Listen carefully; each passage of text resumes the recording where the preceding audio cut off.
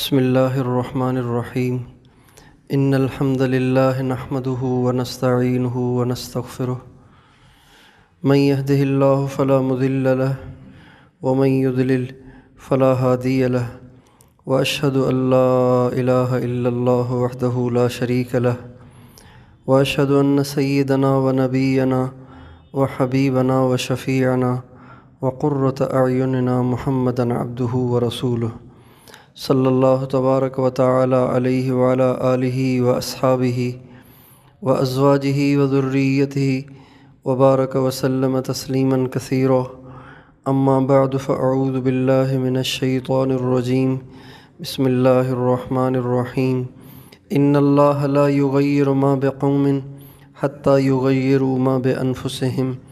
सुब्हान रब्बिक रब्बिल इज़्ज़ति अम्मा यसिफ़ून। व सलामुन अलल मुरसलीन वल्हम्दुलिल्लाहि रब्बिल आलमीन अल्लाहुम्म सल्लि अला सय्यिदना मुहम्मद व अला आलि सय्यिदना मुहम्मदिन व बारिक वसल्लम मेरे मोहतरम भाई और दोस्तों, एक आम सी बात है, लेकिन उसे समझना कुछ दुशवार लगता है। बात यह है कि इस दुनिया में जो कुछ हो रहा है अच्छा या बुरा? इसमें इसके हकीकी जो फ़ाइल हैं, जो करता धरता हैं, जिसके इरादे से हो रहा है, जिसकी मर्ज़ी से हो रहा है, वो अल्लाह की ज़ात है। अल्लाह की मर्ज़ी के अलावा यहाँ कुछ नहीं हो सकता। किसी चीज़ कुछ हो जाना, अल्लाह की मर्ज़ी के बग़ैर कुछ हो जाना ये अल्लाह ताला की कमज़ोरी की निशानी है और अल्लाह हर कमज़ोरी से पाक है। दुख के हालात, सुख के हालात, इज़्ज़त के हालात, ज़िल्लत के हालात, तंगी के हालात, फराखी के हालात, कामयाबी और नाकामी के हालात, ये सब के सब भाइयों अल्लाह की तरफ़ से हैं, किसी की तरफ़ से नहीं है। अल्लाह जब राज़ी होता है तो अच्छे हालात पैदा कर देता है, किसी को ज़रिया बना देता है। अल्लाह जब नाराज़ होता है तो बुरे हालात पैदा कर देता है, किसी को ज़रिया कर देता है, किसी को ज़रिया बना देता है। कम किस्मती से, कम किस्मती से हमेशा हमारी नज़र उस वसीले और ज़रिए पे जाती है, जिसके हाथ में हकीकत में डोर है, जिसके हाथ में हकीकत में सारा निज़ाम है, उसकी तरफ़ नज़र नहीं जाती। इसलिए हमारे मसाइल हल होके ही नहीं देते, हमारे मसाइल हल ही होके नहीं देते। इसलिए कि हमारी नज़र डंडा मारने वाले पर नहीं जा रही, डंडे पे जा रही है। हमारे एक बहुत बड़े बुज़ुर्ग थे, हज़रत मौलाना ज़ाहिर शाह साहब रहमतुल्लाह वो अजीब बात फरमाते थे। वो फरमाते थे, जब कुत्ता बावला हो जाता है, जब कुत्ता बावला हो जाता है उसको पत्थर मारा जाएगा तो वो पत्थर मारने वाले के पीछे नहीं भागता, बल्कि वो उस पत्थर को काटने की कोशिश करता है। कम किस्मती से हमें घरों में भी ये जहन नहीं बनाया गया, स्कूलों में भी ये जहन नहीं बनाया गया, कॉलेजेस में भी ये जहन नहीं बनाया गया, यूनिवर्सिटियों में भी ये जहन नहीं बनाया गया। कम किस्मती से कम किस्मती से कम किस्मती से हमें ये बात सुनने को ही नहीं मिली कि इस दुनिया में जो कुछ होता है, वो अकेले अल्लाह की मर्ज़ी से होता है, अल्लाह के इरादे से होता है, अल्लाह की इजाज़त से होता है। न अल्लाह के इरादे के बग़ैर पहले कुछ हुआ, न आज हो रहा है, न आइंदा होगा। लिल्लाहिल अम्र मिन कबल व मिन बाद। इस आयत में अल्लाह क्या समझाना चाहते हैं, क्या जहन साजी करना चाहते हैं? अल्लाह ताला दुनिया के तमाम इंसानों का जहन और दुनिया के तमाम इंसानों की सोच और दुनिया के तमाम इंसानों की फ़िक्र को अपनी कुदरत काहिरा, कामिला की तरफ़ मोड़ना चाहते हैं कि ए दुनिया भर के इंसानों, कभी दुख आए, कभी सुख आए, कभी कामयाबी मिले, कभी नाकामी मिले, कभी इज़्ज़त के हालात बन जाएँ, कभी ज़िल्लत के हालात बन जाएँ कभी तंगी आ जाए, कभी फराखी आ जाए तो इसको मखलूक की तरफ़ मंसूब न करना, अल्लाह की तरफ़ मंसूब करना। इसलिए कि ये सब तेरे रब के कारनामे हैं, ये सब तेरे रब की कुदरत के करशमे हैं, उसी के इरादे से होता है, उसके इरादे के बगैर नहीं होता नहीं होता। मेरे दोस्तों, ये एक बात है, बिल्कुल आसान सी है हर मुसलमान को जब ये बात सुनाई जाती है, वो कहते हैं, जी, बिल्कुल ऐसे ही है। हाँ जी, बिल्कुल ऐसे ही है। आप बिल्कुल ठीक कह रहे हैं। हर मुसलमान अपनी ज़बान से इसका इकरार करता है, अपनी ज़बान से इसका एतराफ़ करता है। हर मुसलमान इसको सरसरी मानता है। गहराई में अगर हम जाएँ तो हमारा दिल इस यकीन से खाली हो गया है। हमारा दिल इस बात से इतना ना आशना हो गया है कि अगर दुख के आने पर, दुख के आने पर दुख के आने पर, खुशी के आने पर अगर हमें कोई अल्लाह की तरफ़ मुतवजह करे तो हम परेशान हो जाते हैं कि क्या बातें कर रहा है? ये क्या बातें कर रहा है? हालाँकि अल्लाह ने किया है, अल्लाह करता है, अल्लाह करेगा, अल्लाह के इरादे से हुआ है, अल्लाह के इरादे से होता है, अल्लाह के इरादे से होगा इस बात का यकीन हमारे दिल की गहराइयों में जब आएगा आएगा तो हर परेशानी में हमारी तवज्जो मखलूक की तरफ़ नहीं जाएगी, अल्लाह की तरफ़ जाएगी। हर मुसीबत में हमारी तवज्जो मखलूक की तरफ़ नहीं जाएगी, अल्लाह की तरफ़ जाएगी। और यही हमें यही हमें सिखाया गया है सूर फातिहा में। हमें यही तो सिखाया गया है सूर फातिहा का इतना तकरार क्यों कराया जाता है? हर नमाज़ में हर रकात में सूर फातिहा का तकरार कराया जाता है। हर रकात में, हर नमाज़ में सूर फातिहा का तकरार कराया जाता है। एक दफ़ा फातिहा पढ़ लेना काफ़ी है। पहली रकात में फातिहा होती, या पाँच नमाज़ों में से एक नमाज़ में फातिहा होती, हर नमाज़ में तकरार कराया गया, हर रकात में तकरार कराया गया। बल्कि हुक्म है कि जब दुआ मांगो तो भी सूर फातिहा पढ़ लिया करो। इससे दुआ कबूल होती है।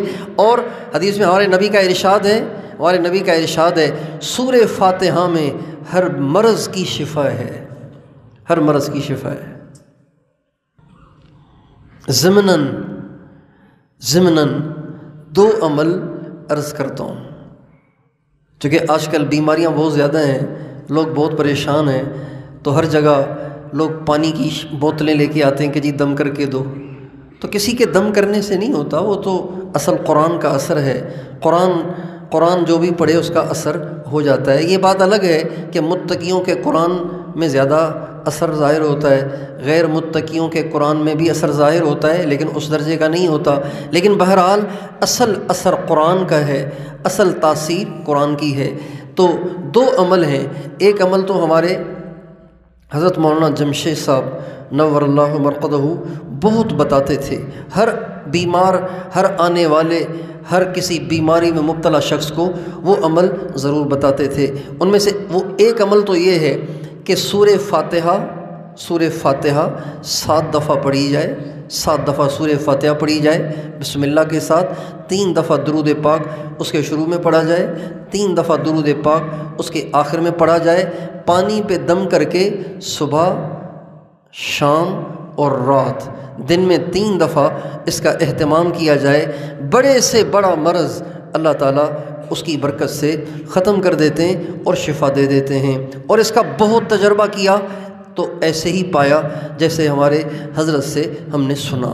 और दूसरा अमल, वो भी मशाइ ने लिखा है सूर फातिहा के बारे में कि फ़जर की सुन्नत और फ़र्ज़ नमाज़ के दरमियान, फ़जर की सुन्नत और फ़र्ज़ नमाज़ के दरमियान सूर फातिहा को इकतालीस दफ़ा पढ़ा जाए, हर दफ़ा बिस्मिल्लाह को भी पढ़ा जाए, उसके बाद उस इकतालीस दफ़ा सूर फातिहा पढ़कर पानी पे दम कर लिया जाए। सारा दिन सिर्फ़ वही पानी इस्तेमाल किया जाए पीने में, उसके अलावा कोई और पानी इस्तेमाल न किया जाए। अल्लाह ताला ने इस अमल की बरकत से कैंसर के मरीज़ों को भी शिफा दे दी। जिनके दोनों गुर्दे फेल हो गए डायलिसिस पे आ गए थे।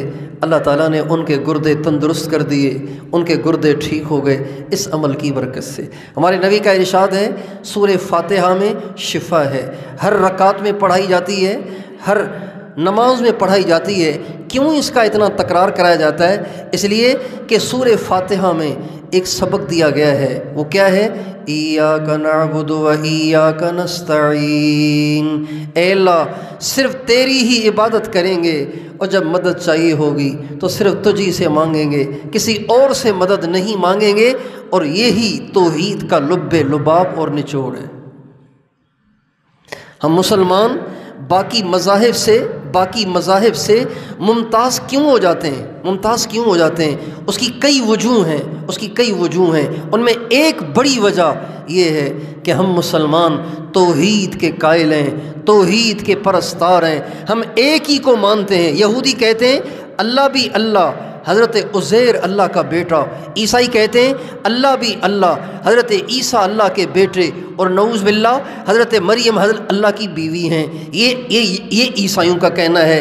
यहूदी ने तो भरमार लगा दी खुदाओं की, हज़ारों बुत बना दिए, खुदा का शरीक उनको ठहराया।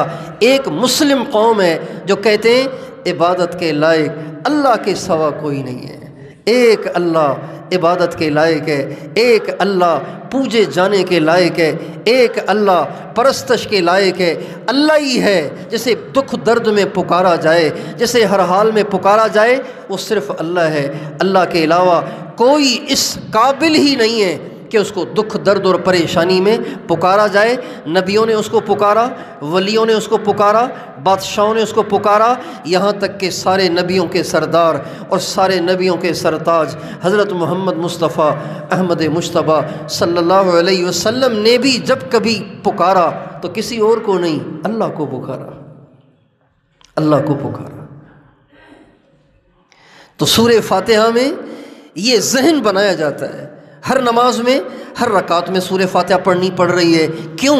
ये जहन बनाना मकसूद है कि करने वाला सिर्फ़ अल्लाह है। उसी के हाथ में इज़्ज़त है, उसी के हाथ में ज़िल्लत है, उसी के हाथ में तंगी है, उसी के हाथ में फ़राखी है। देखें, सुने, एक उसूली बात ालिम के ख़िलाफ़ आवाज़ उठाना नाजायज़ नहीं है, जायज़ है।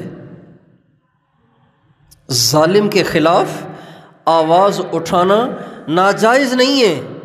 ालिम के ख़िलाफ़ आवाज़ उठाना नाजायज़ नहीं है। ममनू नहीं है। हराम नहीं है। जायज़ है। लेकिन लेकिन लेकिन अजीमत ये है कि आप छोड़ दें सबको, फेर दें सबसे नज़रें, उम्मीदें तोड़ दें सब सारी दुनिया से, सारी उम्मीदें।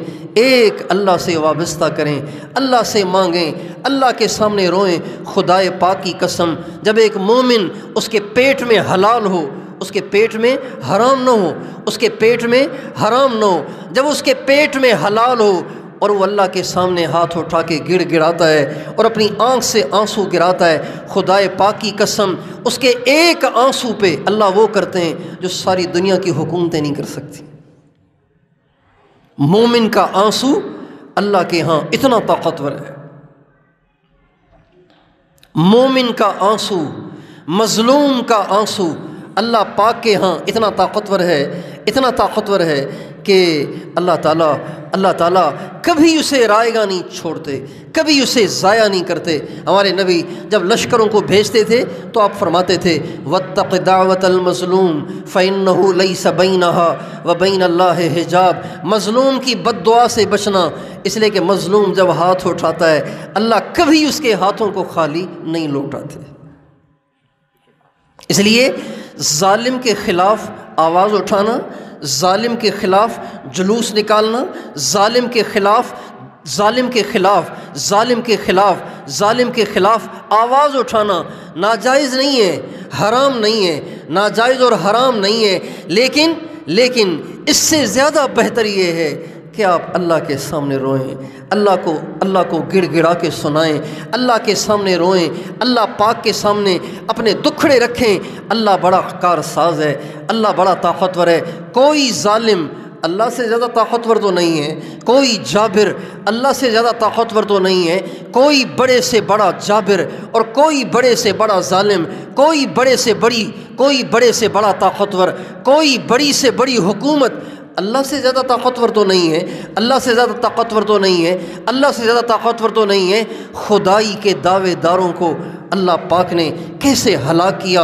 और और माल के घुमंड में, माल के घुमंड में, माल के नशे में आके चूर हो जाने वालों को अल्लाह ने उनका क्या हशर किया?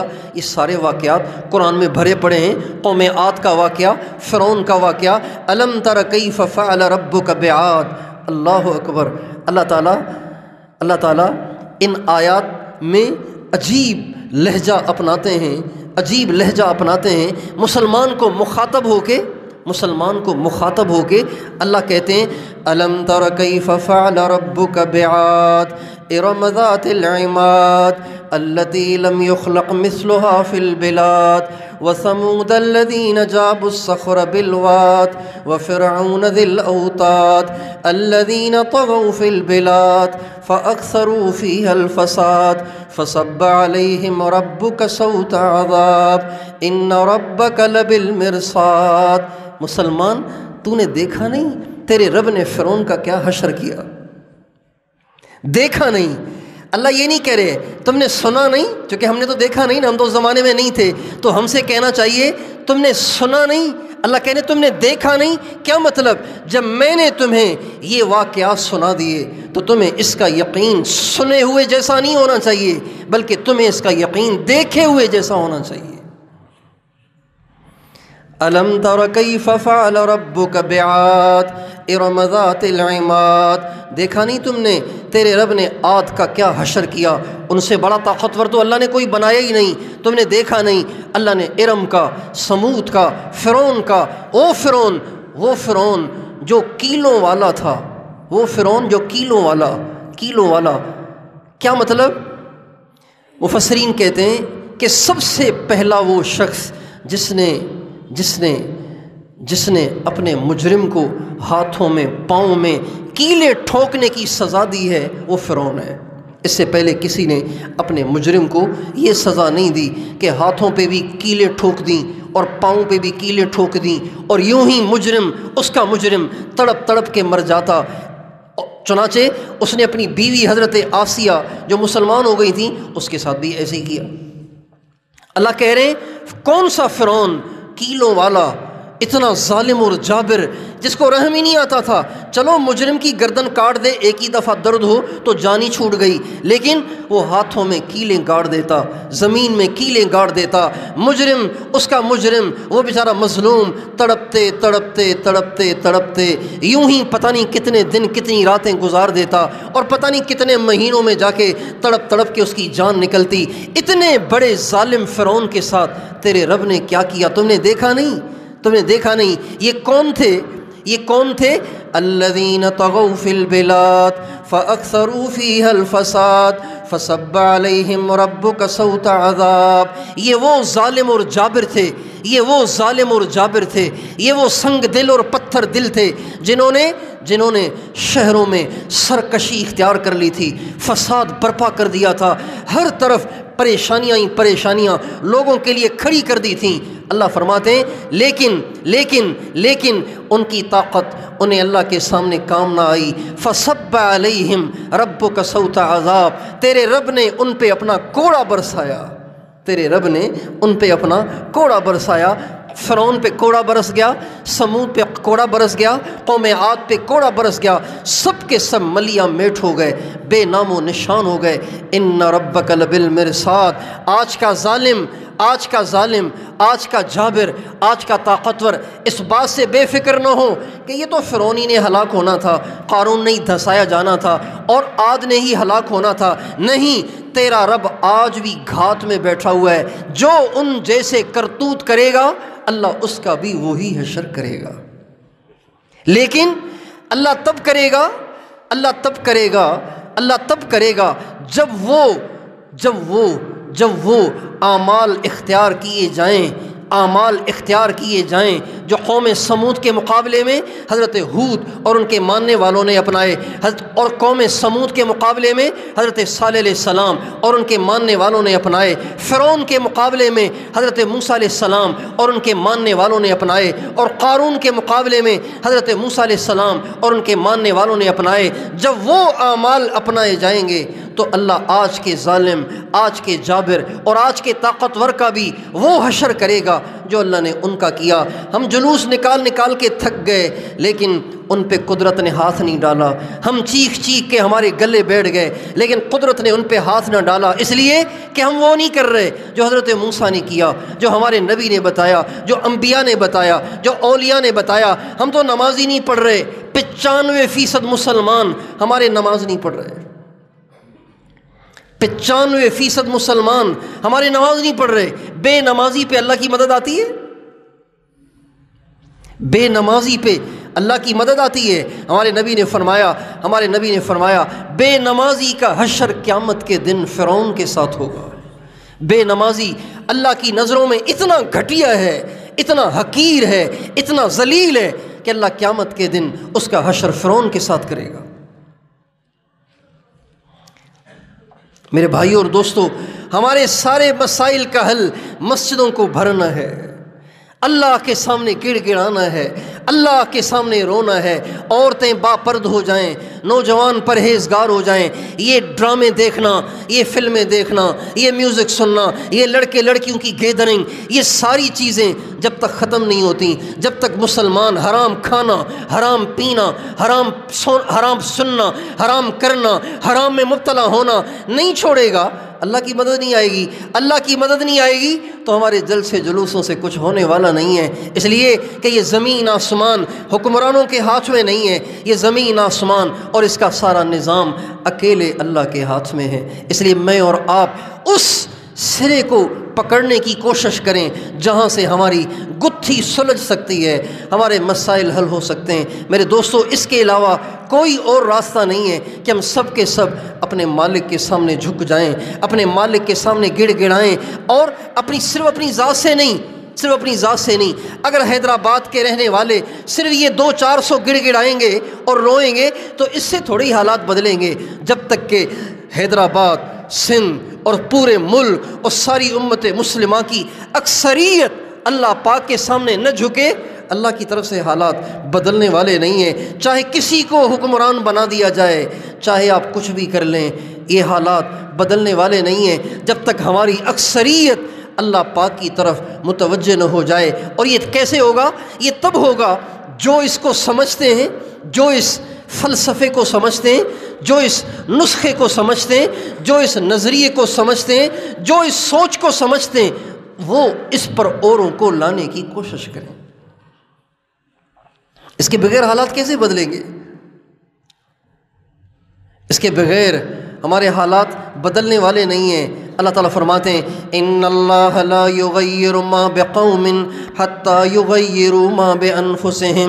ताला नहीं बदलते उस कौम के हालात को जो कौम अपने आप को बदलना नहीं चाहती।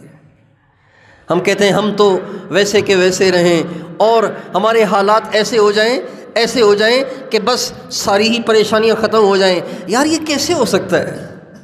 ये कैसे हो सकता है? हमारी हरकतें तब्दील ना हों, हमारी हरकतें ठीक ना हों, हमारे करतूत ठीक ना हों, हालात ठीक हो जाएँ, ये नहीं हो सकता। ये नहीं हो सकता।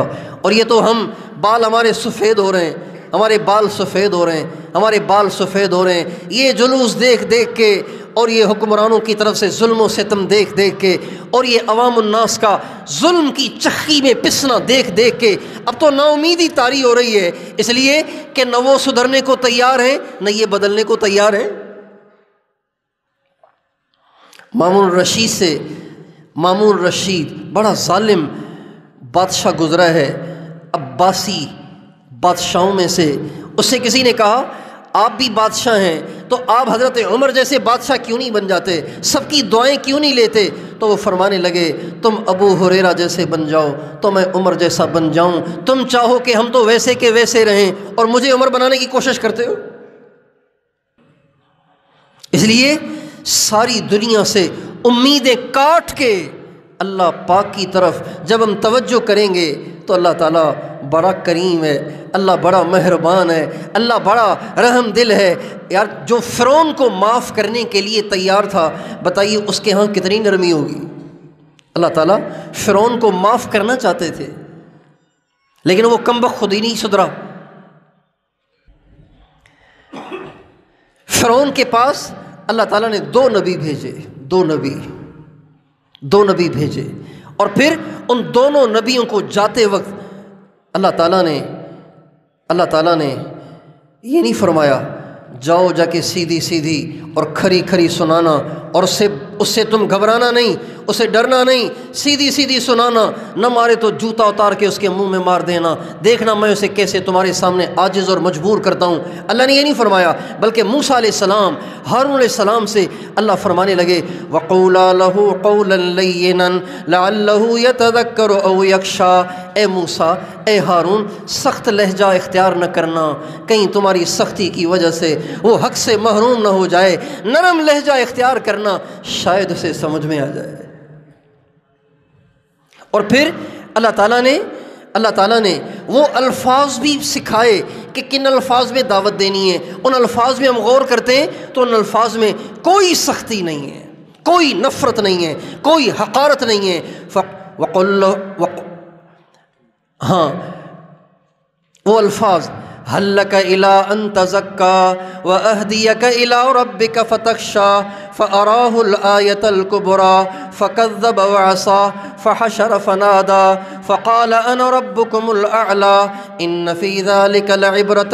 यख्शा इन आयतों में अल्लाह ताला वो अल्फाज बता रहे हैं जो अल्फाज अल्लाह ने हज़रत मूसा सलाम हज़रत हारून सलाम को सिखाए कि इन अल्फाज में जाके दावत देनी है वो अल्फाज क्या हैं हल्लक इला अन तज़क्का हल्लक इला अन तज़क्का। क्या आपको रगबत है? क्या आपको रगबत है कि आपको सीधा रास्ता बताया जाए? अगर आप इजाज़त दे दें तो हम आपको सीधा रास्ता बता दें कितना अच्छा लह जाए जो फ़िरौन को माफ़ करने के लिए तैयार रहता हो, फ़िरौन को माफ़ करना चाह रहा हो तो बताइए, वो उम्मत मोहम्मद पे भला कैसे संग दिल हो सकता है। कैसे उनको सख्तियों में देख के खुश हो सकता है? कैसे उसको हज़रत मोहम्मद सल्लल्लाहु अलैहि वसल्लम के नाम लेवाओं की परेशानियाँ उसको गवारा हो सकती हैं? मगर ये परेशानियाँ और ये सख्तियाँ इसलिए उसको मंजूर हो रही हैं कि हम खुद बदलने के लिए तैयार नहीं हैं। इसलिए मैं और आप इस नज़रिए को मज़बूत करने की कोशिश करें और औरों को ये बात समझाने की कोशिश करें। हर एक औरों को समझाए, हर एक औरों को इस बात की दावत दे। अपने घरों में ये नज़रिया कायम करें, अपने बी बच्चों का ये नज़रिया बनाएँ। सारी दुनिया के सारे मुसलमानों तक इस पैगाम को पहुँचाएँ। सबकी ये जहन साजी करें। जब उमूमी तौर पर ये जहन बन जाएगा, अपने आप को बदलना हम शुरू कर लेंगे। अल्लाह ताला हालात को ठीक कर देगा।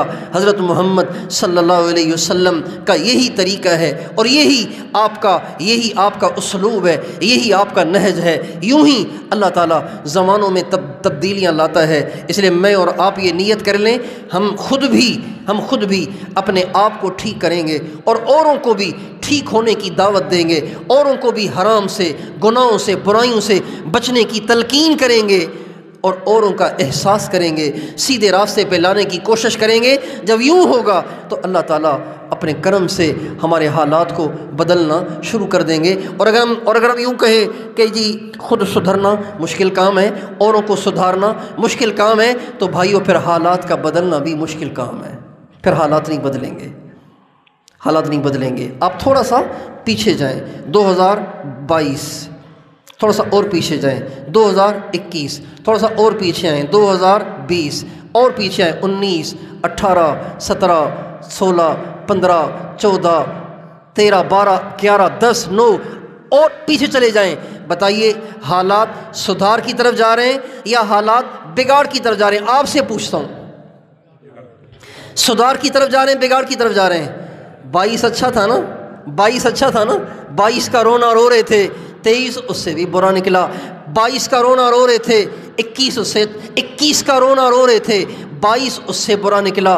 बीस का रोना रो रहे थे, इक्कीस, उससे बुरा निकला। यूँ ही हमारा हर अगला साल हमारे लिए नई परेशानियाँ खड़ी कर रहा है, इसलिए कि हमारे करतूत भी तो दिन ब दिन बिगड़ते चले जा रहे हैं। हैदराबाद में गिने चुने चंद सिनेमा घर थे, जहाँ जाके जिसने मुँह काला करना होता था, वो काला करता था। आज आपके नब्बे नहीं, पचानवे फ़ीसद नौजवान घंटों नंगी फ़िल्में देखते हैं, लड़कियों से बातें करते हैं क्या क्या हराम कारियाँ करते हैं। तो बताइए, खुदा की पकड़ नहीं आएगी तो क्या होगा? खुदा की पकड़ नहीं आएगी तो क्या होगा? बेहयाई और बदकारी अल्लाह पाक को अपनी धरती पर एक मिनट भी गवारा नहीं है। बेहयाई, अल्लाह को गवारा नहीं है। जब लड़के लड़कियाँ कट्ठे बैठ के पढ़ते हों, एक एक बेंच पे कट्ठे बैठ के पढ़ते हों, लड़के लड़कियों की आपस में गैदरिंग हो, लड़के लड़कियाँ शादियों में इकट्ठे हों और नाच गाना, और फिर चौदह अगस्त को क्या होता है, तेईस मार्च को क्या होता है, नया साल शुरू होता है तो क्या होता है, जब इतनी बेहयाई बढ़ चुकी हो और हम चाहें कि फिर भी अल्लाह हम पे रहम कर ले और असाब बदर वाले फरिश्ते उतार दे। भाइयों, कैसे होगा? इसको कहते हैं बिल्ली के ख्वाब में चीचड़े। ऐसे नहीं होगा। ये तब होगा जब हम परहेजगार हो जाएँ, गुनाहों से बाज आ जाएँ। अल्लाह पाक के सामने रोएँ, धोएँ गिड़ गिड़ाएँ अपनी बुराइयाँ छोड़ दें। अल्लाह पाक को ख़ुद भी सुधर के दिखाएँ और औरों को भी सुधरने की दावत दें। फिर अल्लाह को रहम आएगा, अल्लाह को तरस आएगा। अल्लाह ताला मुझे और आपको तोफ़ी अदा फरमाए। यही पैगाम दुनिया के इंसानों को देने के लिए सांगड़ में सांगड़ में तेरह फरवरी को इज्तम हो रहा है। तेरह फरवरी को, तेरह फरवरी पीर के दिन शाम से, असर की नमाज़ से इज्तम हो रहा है सांगड़ में। आप सारे दोस्तों से दरख्वास्त है, ख़ुद भी तशरीफ़ लाएँ और उनको भी लेकर आएँ और बुध की सुबह को दुआ हो जाएगी। सिर्फ़ डेढ़ दिन का इज्तम है और उसमें कोई और नया पैगाम नहीं है। यही पैगाम है, सुधरना है औरों पे मेहनत करके औरों को भी सुधार की तरफ़ लाना है। तो आप सारे भाई